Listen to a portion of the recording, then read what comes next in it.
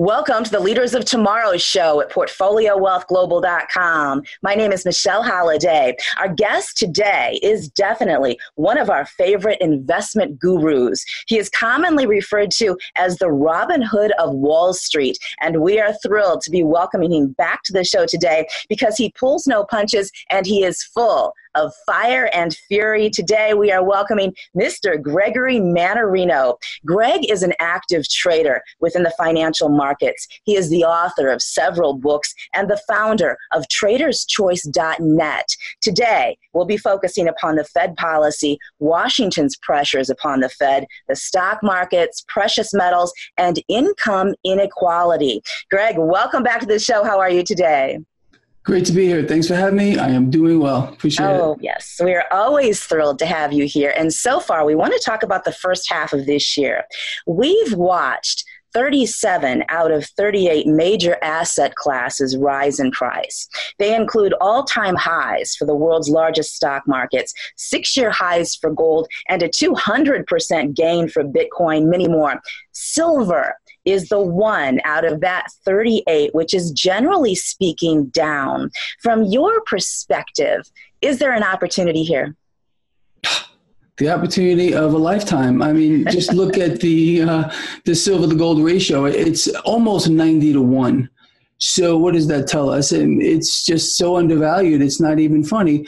But I, I think people just don't understand how precious metals are even valued, they, they, they derive value from the derivative. I mean, it's derivative market. It's the deli- derivative market that determines price for the hard asset. It's completely upside down. It's kind of like a derivative uh, setting the price action of, let's say, Apple stock, Microsoft. It's completely flipped the opposite way, and we know why it's being done like that. But there's, there's no doubt about it. In, in my view, um, based on in, me studying this around the clock for like I don't know a decade longer than that, way longer than that actually. Um, I, I, still feel it's the most undervalued asset in the history of the world, and people need to be hoarding it. Um, that's just my take. Many experts agree with you. Just recently, just within the past 24 hours, Kitco came out with several experts looking for a 40% rise fairly soon. So this is really exciting for silver. You know, it, it is, but I'm really a long game kind of guy when it comes to the precious metals, and I've been talking about this for a very long time. It's just so simple for me. My perspective is is this: we understand what the Fed's going to do, what the European Central Bank is going to do, um, other world central banks as well. They have no alternative but to inflate. So that means you simply need to take the opposite side of that trade for the long haul uh, bet against the debt, become your own central bank. I've been saying that since day one. That means hold hard assets in this environment. They're going to kill the currencies. That what that's what they're determined to do. Uh, we continue to hear this from world leaders.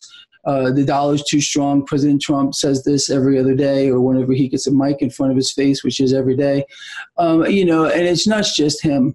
Uh, this is the environment we are in. Unfortunately, um, moving forward, this is what we can expect: a currency devaluation on an epic scale. Um, the debt, the debt, the debt market is unbelievable. In fact, I can't even get the words out here. It's um, it's the biggest bubble the world has ever seen by exponents. That doesn't mean it's not going to get larger. I do believe it will. The debt bubble, that is. Um, so again, it just puts a very easy, clear perspective on what people should be doing for the long run. Number one, uh, own hard assets. Silver, number one, period. That's my view. Number two, look for dollar alternatives, including cryptocurrencies. That's my take. I've been saying this for quite a lot uh, lately. So, um, and get out of the dollar. I mean, they're determined to kill it. They're determined to kill fiat currencies. I don't know why anyone would want to be in these instruments. They're debt units. And um, all of this is just a distortion on an epic scale. The whole thing, the stock markets, what's going on with regard to precious metals. I even think cryptocurrencies are suffering right now. As you know, they're down a little bit today. They've been under a little bit of pressure, but it doesn't phase me at all. I think a lot of this with regard to cryptos is speculation that there's going to be um, some type of regulation put on. We understand there's been an amazing um, calls by Congress to regulate this stuff. So, you know, you're going to see this wavering around, but I still think the trajectory here for all the big cryptos is higher. right now uh, as, as people are seeking dollar alternatives. I personally believe they should be in hard assets, but you can't only be in one thing. And I, I want people to understand that you need to be diversified. You have to own things, different types of things. Um, you can't put all your eggs in one basket. You, if you do that, you'll end up in trouble at one time, and I don't want to see anybody do that. So you should be spread out a little bit. Exactly. Now, Greg, turning now to income inequality, it's a growing topic of discussion. Should there be a free market or should the government address this or actually should it be addressed at all? What do you think of this? Is it a sort of a negative phenomenon or is it a natural one? And should the rich really be taxed to mitigate it? And should the wealthy be inspired to donate? What's your perspective on how to sort of resolve the situation, if it can be resolved? I think we need to let the free market work. We don't have a free market. Um, it, with with regard to the stock market and our economy, nothing is real. Nothing is. Everything is being managed right now. Uh, world central banks have taken the largest aspect of this market, the debt market, artificially suppressed rates now for over a decade. This has caused massive distortions across the spectrum of asset classes, for which some of which are, are in our face being rigged, like the price action of precious metals.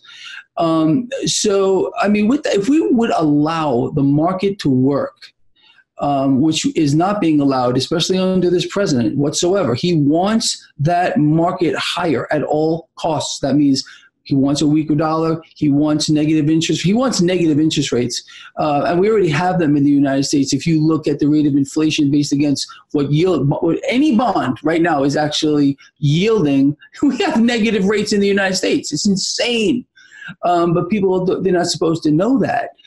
But um, you know, I don't think we need to. I think if we allow the market to work this the issue with income inequality, whatever that actually is supposed to mean, uh, would would re- resolve itself. Uh, we're just not allowing the market to work, and that's the biggest thing right now. Um, and it's not just here in the United States; it's it's a worldwide phenomenon. And um, unfortunately, it seems that the cycles of the market have been removed. We used to have boom cycles and bust cycles. Now it's all up, up, up because it's about propping up the stock market. And regardless of what's happening on the ground, uh, it doesn't matter. And I've been explaining to people for the longest time that the gap between what's actually occurring on the ground or in the economy and the stock market is going to continue to get monumentally worse. Um, especially, I mean, we're going to have the ECB, the European Central Bank. Um, they're, they're going to fire every last salvo at, at, the, at their markets to try to keep them propped up, taking rates deeper into the negative, uh, diluting the euro, and the Fed is going to follow suit. Um, and and we, we are going to get a series um, of, of rate cuts from um, the ECB moving forward and from the Federal Reserve. Um, we're getting one there's no doubt about it, in my mind at least, we will get a Fed rate cut at the end of this month, their next FOMC meeting. That's going to be one of multiple that are coming down the line. So if anyone's expecting this to be a one and done, they're completely um, detached from reality because the, the, game is very simple. They want to keep that doorway open for cash to move into the stock market, and that's how they do it. It's very simple. I want to stay with this topic because I do think that President Trump is putting a lot of pressure on the Fed to lower the interest rates. And I really want you to dive into why this is happening. What is the president's perspective?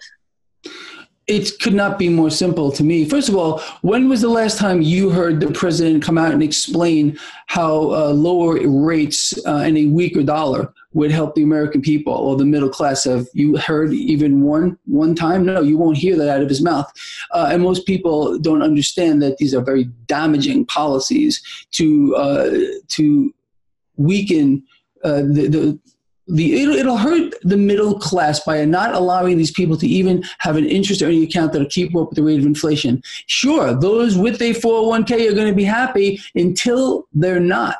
And we've seen this over and over again. I do not believe there is any pressure whatsoever that exists between President Trump and the Federal Reserve. It's a good cop, bad cop charade that they played on people over and over and over again. Um, and they're both on the same page. The Federal Reserve wants to lower rates. I don't care what comes out of their mouths. How do central banks uh, wield power? By issuing debt.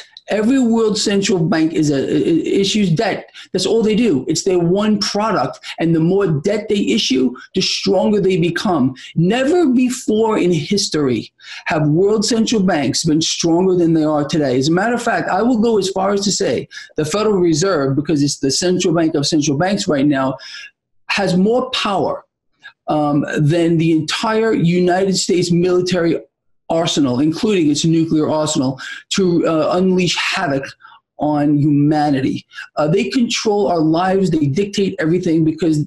Again, they dictate monetary policy, our method of transaction.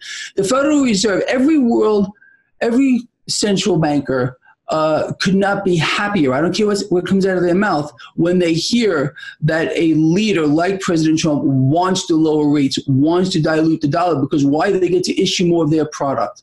It's like, for example, let's say I'm selling, I don't know, chapstick all right, that's what I'm doing, and I, I, all of a sudden the world wants more of it. I get I gain more power because I become richer. That's how it works. The central bank's product is debt. The more debt they issue, the stronger they become. And their goal, their end goal, every world central bank has one goal to it, and it sounds crazy, but it's world domination. They're going to be the lenders of last resort and the buyers of last resort. Last time we bailed out the banks, 2008. This time who's going to bail out the countries that are now absolutely debt slaves to their uh, central bank. That's where we're going here. And I'm very disturbed with President Trump's policies right now with regard to the Federal Reserve because candidate Trump had it right. Who this guy is, I have no idea.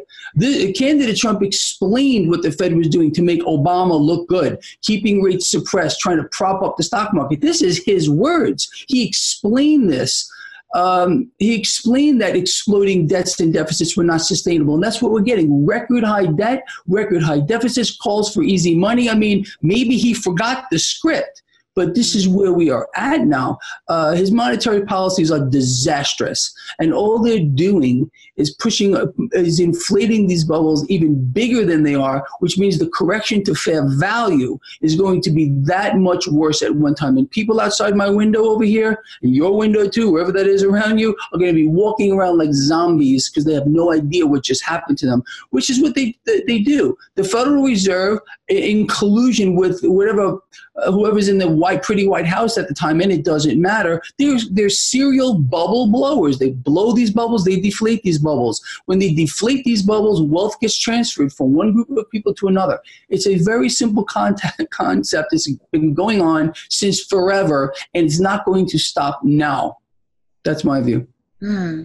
So, generally speaking, lowering interest rates is not going to stimulate the economy.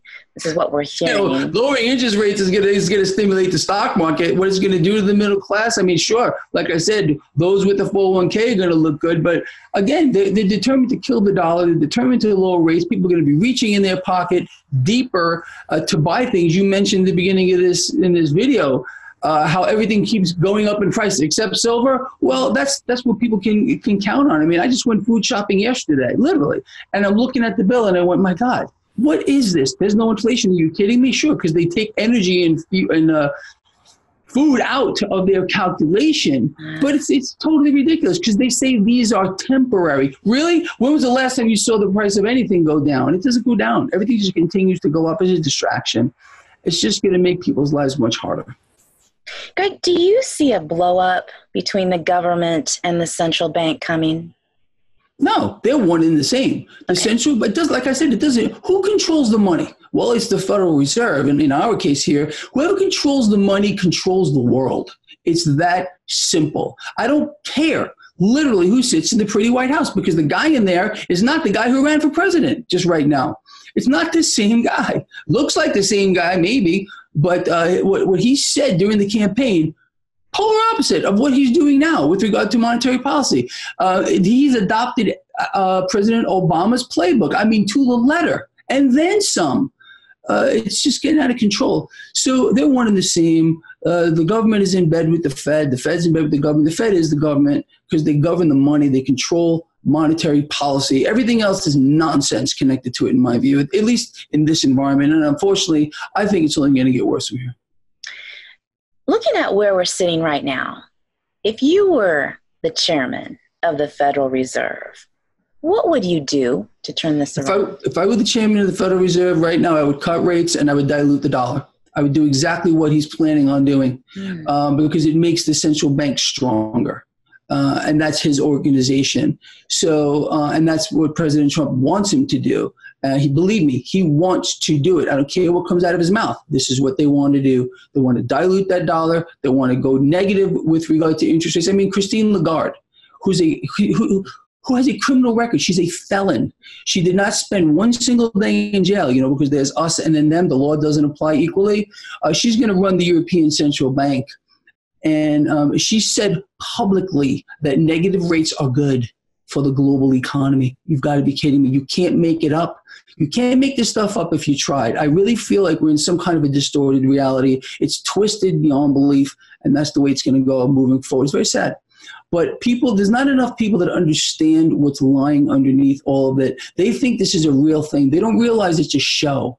Uh, the good cop, bad cop, the the the Democrat, Republican, the, this whole thing is just a way to keep people polarized, to keep them uh, distracted, to keep them in a state of stress, so they can't focus on what's really happening. It's a terrible thing. It's a terrible thing, but it's been working since time immemorial. This is the divide and conquer strategy that has been used literally since pre-biblical times, and um, and that's the way it's going to go moving forward. And it, people are just they're they're not evolving. People are devolving. They become. I think today generally the population is more stupid than they've ever been, um, and they've been dumbed down on purpose. They literally have. Um, they don't read books. They don't sit down and, and contemplate what's going on around them anymore. It's like they act like drones. They get up in the morning, they go to work, they come home, they sit down, they have dinner, they go to bed. This is their cycle of their life. Um, they don't con- they, they wonder where money's going to come from. Most people, one in four people today are borrowing from their credit cards just to make ends meet. Does that sound like a booming economy to you? Doesn't sound like a booming economy to me. Our economy is in free fall, and the the the evidence is everywhere.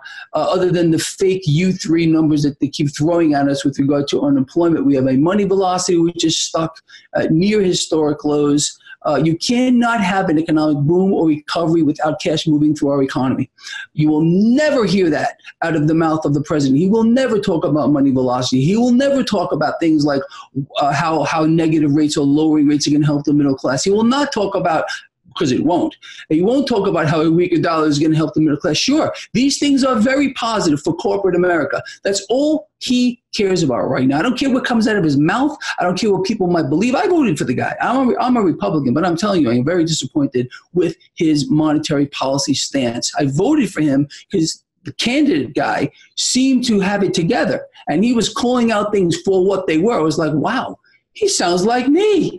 I'm going to vote for this guy. You know, that's that's how he earned my vote. And obviously, I was duped, like a lot of people were too. Greg, what do you think changed? Do you think, from your perspective, um, because I know a lot of people agree with you that he's switched.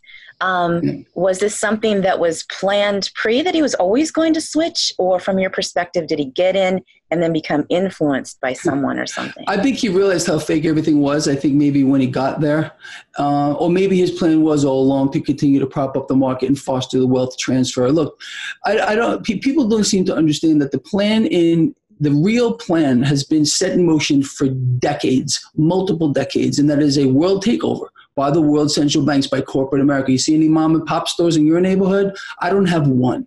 Uh, and that's very sad. When I was growing up, when I was a kid, and I was old as dirt right now, my birthday was just yesterday.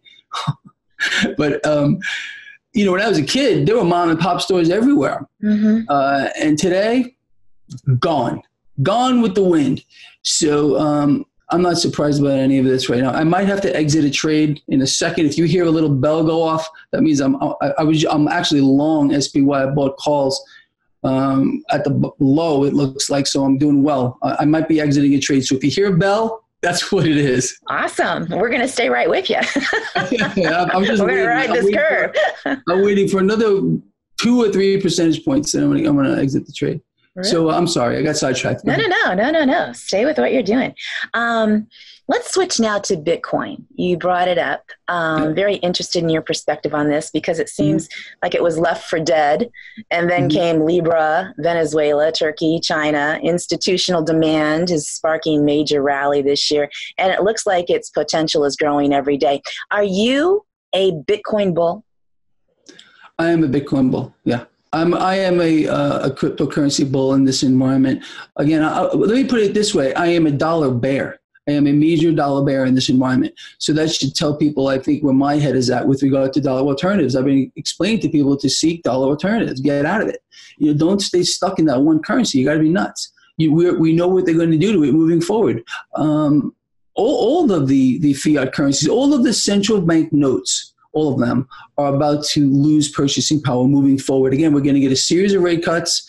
We're going to get um, a dollar devaluation, euro devaluation moving forward. We're going to get deeper, I think, into a currency war, which we already are in. Um, that's why I, am bullish on, on, on cryptos here, and obviously a screaming bull with regard to uh, precious metals. Yes, indeed. We spoke about silver. What's your perspective on gold right now? Own it. Um, if I had to choose gold or silver, I would choose silver. Mm-hmm. But I, I, I also I own palladium too. I own platinum. I own all of all of them, and I think it's important. I don't own any copper. Um, it's too bulky to keep around, in my view. Is I know I know a lot of people do, but it's, it's I don't. Not that I'm negative. It I just don't own it. I'm just being open here. So um, we need to uh, again. I, I just think from my perspective, I can't imagine a more undervalued asset than silver right now. I just think its uses are off the Richter scale. Uh, more uses as technology improves moving forward. Uh, it is real money in my view. It's been real money for thousands of years. No central banker is going to tell me it's not real money. And the more that I hear that, uh, the more I realize that I need to be holding it. It's the truth. And the more attacks I see um, from Congress and from politicians and from billionaires on cryptocurrency uh, means to me that I need to hold it too. Again, these people do not have our interests in mind. It's their interest in mind, and they're not going to tell you what they're really doing, period. Hmm. Yeah, it's very interesting how negative they were toward cryptocurrencies. You know, uh, everybody, right? They the bankers, people in the dollar. That's it. So you believe all of the the corporations, which is it's becoming very clear right now. You know, um, the head of J.P. Morgan denounced cryptocurrency right oh, up until the time they announced they had their own. Yeah. So. Oh, he, he, yeah, he beat up crypto since Bitcoin since day one, and he he called people fools to own it. He called mm-hmm. people idiots, imbeciles, you name it, the whole thing. And he, I mean, he looks like the imbecile when it comes to that. Uh, again, why? Who he is? He's the CEO of a major bank. Mm-hmm. So does he want you? He want where does he want you? He wants us in dollars. It's crazy, totally nuts. Yeah. Talk about the dollar for me, um, because everyone's watching this and everyone's hearing how it's going to crash, it's going to go down. But timeline wise, what's your perspective? Timeline until until it does. I think people are getting people used to having a weaker dollar. Uh, it's all about the debt market. To me, the dollar is a unit of debt. But what I do is I look at the bond market as a whole. I want to see what the ten-year yield more specifically is doing. Right now, the yield curve is inverted. I think most of us are aware of that. Um, it's it's at one point, and this is not just me saying this. There's a lot of guys saying this. A lot of guys are a lot bigger and loftier than me explaining that there is a potential for a sell off, a massive sell off in the debt market. What would that mean? If bonds sell off, uh, if and central banks are going to become the buyers of last resort, but at one at one time the, the debt market is so big that even they will not be able to continue to support it. So you're going to see a sell off here at one point in the debt market. You're going to see yields spike. Um, as yields spike, it's going to have the opposite effect on the stock market, for example, as to what we're seeing now. And cash is going to leave the debt market, it's going to leave the stock market, uh, and all of these bills are going to look for a place to go. But the issue with the dollar is pretty simple. At one time, when this occurs, where what I just said occurs, and it will occur at one point, we're going to get another credit freeze. So what, what that means is business activity stops. Uh, people go to their banks They cannot withdraw even a single dollar. That was the issue in 2008 that people I don't believe are aware of. It was we had a credit freeze. If they did not introduce quantitative easing, massive capital injections into the market, that would have been it. Back to the Stone Age. Period. The end. Um, and that's another uh, thing that we're going to have to face at one point. We're going to get another credit freeze.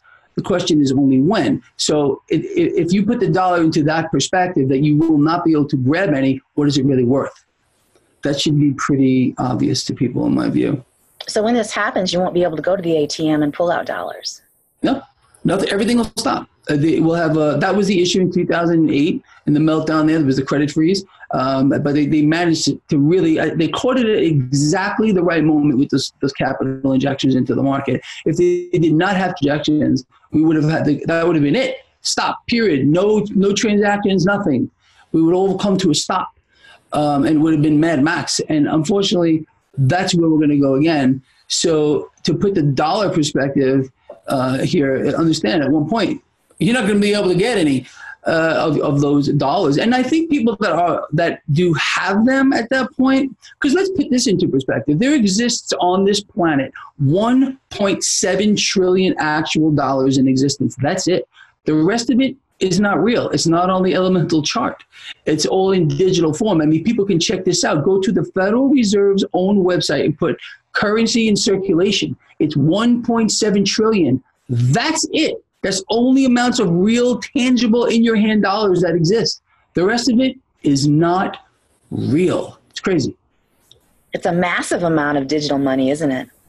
Massive amount. I mean, just look at let's look at the national debt here. What do we have? Twenty-three trillion dollars, right. or so they say. Well, guess what? It doesn't even really exist. It's not there. It exists in digital form only. Just like people don't understand the fractional reserve system. You go ahead and you put a thousand dollars into your bank, and then you look at your bank statement. It says you have a thousand dollars in there. You do not have a thousand dollars in there. You have one hundred dollars.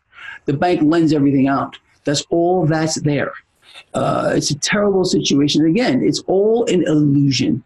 And people have learned to live in the matrix in many ways. It's true.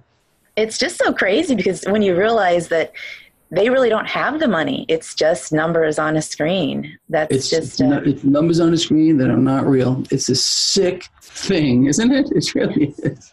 Hey, I know you're getting out of a certain stack right now. Can I ask you what it is? I know everybody's actually, wondering. I'm, yeah, I'm actually in an SPY. I'm in the ETF right now.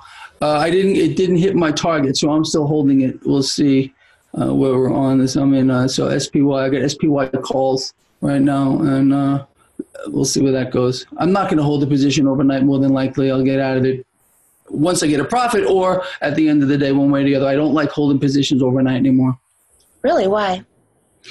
The market's too volatile. Um, I used to be pretty much an exclusively a swing trader, meaning I held positions from days to weeks, sometimes longer than that. Um, but now I've become more of a day trader. So uh, I get into these things, pull a profit out. I call it an IPO in, profit, out. Uh, full profit. If I can do this multiple times a day, well, then I'm looking good. That's pretty much what I'm looking to do. All right. Now, while we've got you here, we know we're headed for something bad.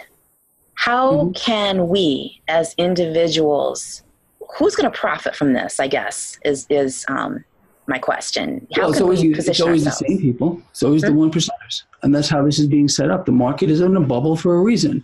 The market is look. Earnings don't matter. PE ratios don't matter. Forward guidance doesn't matter. What matters is what central banks are going to do moving forward. That's how we have. It's a completely managed market right now, and uh, and they they've got the market where they want it, uh, and they will continue to inflate it until until they're ready to pull the plug. And when they do pull the plug, and it will be of their choice when they decide to do it, um, that we're just going to get again the people that do have those 401k plans or investments that only imagine this. Imagine an investment plan that only makes money when stocks go up. Who could create that? Only a banker, right? Me? I don't care which way the market goes. It goes up, I make money. It goes down, I'll make money. Not every trade, but for the most part. I mean, I can bet against the market, I can bet for the market, but people are stuck in like a 401k or something. They only make money when the market goes up. Who came up with that? So it's a setup. So when the market decides to sell off, who's the first people out of the door? Well, it's the smart money, it's the institutional investors, it's the investment banks, and then they people call up their their their fund manager and say, "Oh, what should I do?" What does the fund manager say? Stay in. Don't worry about it. The market's going to turn around, and that's what they're counting on.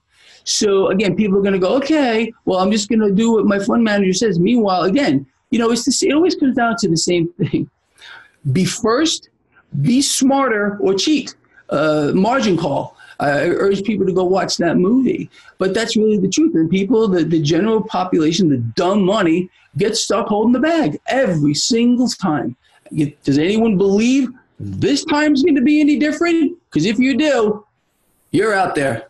well, I know you mentioned to me one time, and I want to share it with everybody, that um, the people that call the market and short it at the right point in time oh, are right. really going to win. And I want to bring that up to everybody. Yeah. Well, that's true. Just like in the movie The Big Short. And uh, th- this is going to be another setup that's that's coming moving forward. There's no doubt about it. Uh, the movie The Big Short, the guy, uh, the gentleman, I can't remember his name off the top of my head, Dr. Burry, um, took up a short position against uh, that market. Uh, there actually wasn't even a financial instrument at the time that he could have used. He actually had it built. But long story short is whoever gets on the right side of that this time is going to get more wealthy again in dollars. Uh, and what they're going to do with those dollars. I mean, you know, look, you can't stay in these things. So what I do, generally what I've been doing, is I allocate money, and I've been doing this for years, pull money out of the market, obviously pay my bills, whatever I got to do with it. When I get whatever surplus cash I have, or most of it at least, I allocate into metals. Again, I'm a long game kind of guy. Hopefully, I'll live another couple of decades, and these things will will manifest themselves. I don't think it's going to be that long. I really don't know. I don't even think about it. I, I, with regard to these markets, I sit here and I trade the market I have, not the market I'm dreaming about, thinking about, foaming at the mouth over, whatever it might be. I trade the market that's in front of me. Uh, with regard to metals, it's a long game. So people can get frustrated. Oh, you know, I bought silver yesterday and it went down to two percent. Uh, good. Be happy because it gives you a buying opportunity down the line because we understand what world central banks and their respective leaders are going to do. This they are in bed together, and I mean in bed together, and they're going to make sure this is that, that the one percenters continue to be richer at the expense of whatever is left of the middle class. I mean, we don't even have a real middle class anymore. Most members of the middle class today are in debt beyond their eyeballs, and um, this is not the way the middle class is supposed to be uh, is supposed to be a prosperous part of society, but we're greasing the wheels. People in the middle class are greasing the wheels of this monster with their blood and guts. It's a terrible thing to watch. And I sit here and I go, is everybody nuts? It's really the truth. you know what? Where's all of our money, Greg? Because um, we have prospectively a lot of money, physical money out there, but everybody I know carries very little money uh, they all use their cards, and if you ask them about cash, they just don't have cash. No, they don't, because there's only 1.7 trillion that exist on Earth. Uh-huh. Everything is digital, digital transactions, digital this, digital. People will money, literally will money into existence. For example, let's say I want to go out and I want to go buy a Ferrari. Okay, uh, chances are I'm going to go out there or someone's going to go out there and buy this car on credit. So where does that cash come from? It's willed into existence. This is what they do. I, I'm willing to sign this thing for cash to be just created out of thin air to be put into this vehicle or this house or, or whatever you want to buy. That's what we do. People that live on credit, that live on debt. I don't, I have no debt. Zero. I refuse to eh, become a debt slave. If I don't, if I can't buy something with cash or whatever it might be. I've I've paid gold and silver for things in the past, and I will continue to do that. I bought a guitar recently, and I paid with, paid for it with silver, physical silver. I asked the guy. I said, "You uh, you a stacker by any chance?" He goes, "Oh yeah." I said, "I tell you what. Instead of giving you X for this, how about I'll give you X amount of ounces of silver for it." I mean, this is what people should do. Start transacting in real freaking money. Get out of their system as much as we possibly can, which is nearly impossible. It's the truth but uh, that's where we're at here. It's a sick thing. People will money into existence. They think it's real. Oh, I'm going to sign this piece of paper and take out a mortgage on um, another house. Uh, and that money's just there. No, it isn't. That money is at that point created out of thin freaking air. Um, and this is the system that we're in. It's so twisted. It really is. But what are we going to do? Here we are. So, Greg, give us an update on your trade right now before we go.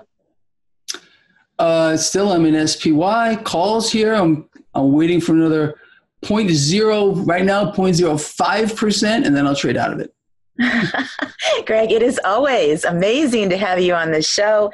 Um, please tell everyone how they can follow your work. GoodChoice.net. Just go to my website. Everything is there. It's all free. Take advantage of it. And uh, I hope I come back soon. I enjoy the show. Yes, yeah, it is always so fun to have you here. You have the best stuff. Mr. Gregory Mannarino, trader, author, founder of the traderschoice.net. For the leaders of tomorrow's show, I'm Michelle Holiday at portfoliowealthglobal.com.